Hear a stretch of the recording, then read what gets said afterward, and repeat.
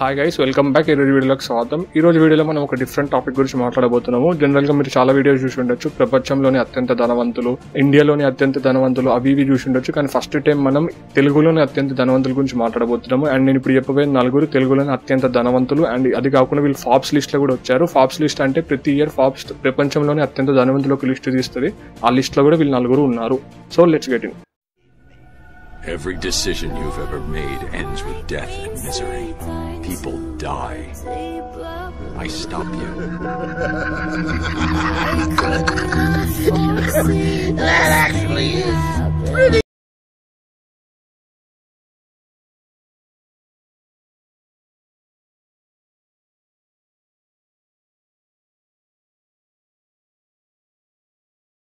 K Satish Reddy. K Satish Reddy doctor Reddy pharma lab. లేకపోతే doctor Reddy's lab ఒక chairman అనమాట ఈయన.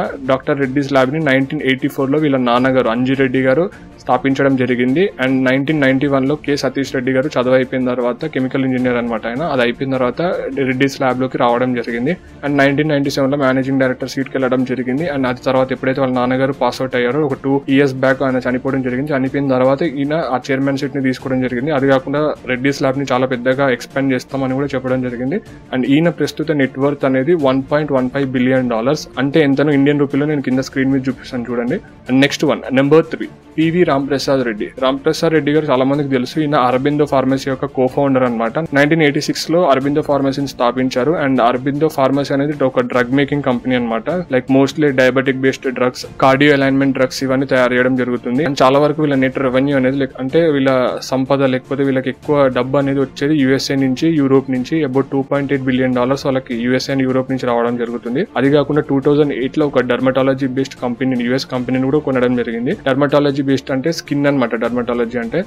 దాని బేస్డ్ ఒక కంపెనీని కొనడం జరిగింది. అండ్ దీన్ని అబౌట్ నైన్ హండ్రెడ్ మిలియన్ డాలర్స్కి కొనడం జరిగింది. అండ్ పివి రాంప్రసాద్ రెడ్డి గారి ప్రస్తుత నెట్వర్త్ అనేది లేకపోతే ఆయన సంపద అనేది two point five billion dollars number two PP Reddy ఈయన ఒక రైతు బిడ్డ అనమాట ఈయన ఫస్ట్ ఒక చిన్న కంపెనీ స్థాపించడం జరిగింది. దాని పేరు మేఘా ఇంజనీరింగ్ ఆంటర్ప్రైసెస్ చిన్న చిన్న పైపులు వాళ్ళు మ్యానుఫ్యాక్చర్ చేసేవాళ్ళు మున్సిపాలిటీ వాళ్ళ కోసం నైన్టీన్ ఎయిటీ నైన్లో. దాని తర్వాత దీని మెల్లగా ఎక్స్పాండ్ చేయడం జరిగింది. ఈ కంపెనీని పెంచి ఇన్ఫ్రాస్ట్రక్చర్ కోసం డెవలప్ చేయడం చేశారు. అండ్ ఇన్ఫ్రాస్ట్రక్చర్ అంటే లైక్ డ్యామ్స్ కానివ్వండి నేచురల్ గ్యాసెస్ కానివ్వండి పవర్ ప్లాంట్స్ కానివ్వండి రోడ్స్ కానివ్వండి వీటన్నిటికీ కూడా ఈ కంపెనీ ఎక్స్పాండ్ అవ్వడం జరిగింది. అండ్ టూ థౌసండ్ సిక్స్లో మేఘా ఇంజనీరింగ్ ఆంటర్ప్రైసెస్ అనే పేరు మార్చి మేగా ఇంజనీరింగ్ అండ్ ఇన్ఫ్రాస్ట్రక్చర్ అనే పేరు పెట్టడం జరిగింది. అది కాకుండా ఇప్పుడు వీళ్ళు ఇండియాలోని ద బిగ్గెస్ట్ ఇరిగేషన్ సిస్టమ్ని బిల్ట్ చేస్తున్నారు. అదేదో మీకు ఆల్రెడీ తెలిసిపోయి ఉంటది. అది మరేదో కాదు కాళేశ్వరం లిఫ్ట్ ఇరిగేషన్ ప్రాజెక్ట్. అది మన గోదావరి నది దగ్గర జరుగుతుంది. అండ్ ఇది ఇండియాలోనే బిగ్గెస్ట్ ఇరిగేషన్ ప్రాజెక్ట్ అన్నమాట. దీని ఖరీదు అబౌట్ ఫోర్టీన్ బిలియన్ డాలర్స్ అన్నమాట. అంటే ఎంత ఇండియన్ రూపీలో కింద స్క్రీన్లో చూపిస్తా చూడండి. అండ్ ఇది తెలంగాణ స్టేట్లో జరుగుతుంది. అండ్ దీన్ని చేసేది పిపి రెడ్డి గారి కంపెనీ అండ్ పిపి రెడ్డి గారు ఇప్పుడు ప్రస్తుత నెట్వర్త్ అనేది వాళ్ళ ఆయన సంపద అనేది three point three billion dollars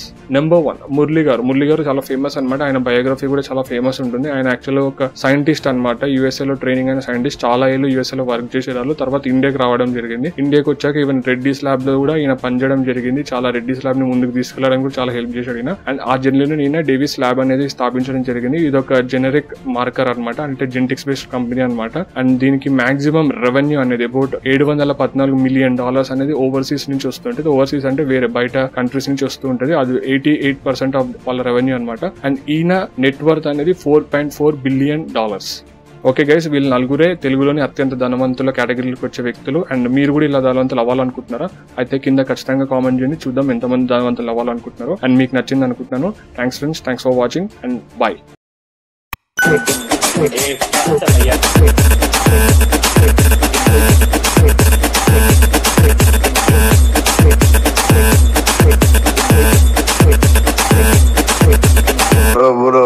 CD சிக்குது கிஜி கிஜி கிஜி கிஜி